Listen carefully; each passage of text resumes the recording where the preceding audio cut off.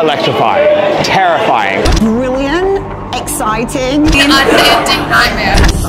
Sufficiently spooked. I'm not going to sleep tonight, so thank you. Completely not what I was expecting. Mind bending. On edge.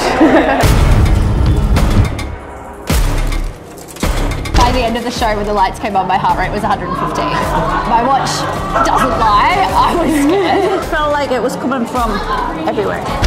And wonderful. I feel terrified. Like I don't feel like I'm gonna sleep now. Exciting. Words can't describe it, but you just have to come see it.